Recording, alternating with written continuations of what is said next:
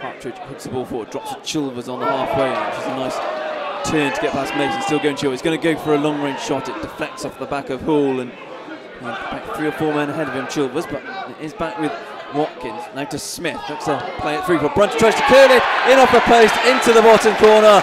It's a beautiful finish from Ryan Brunt. We said the Bath City pressure had been increasing. They've now got that all important breakthrough, and it's the man who put them into round one that puts them ahead in this time. Almost identical to his winner at Gosport, just from the opposite side of the box. This one on his right foot. Once again, he killed it into the bottom corner. It flicked in off the post, past the outstretched hand of Ryan Gosney. No chance for the Sholing goalkeeper. And it was a precision finish from the big Bath City striker.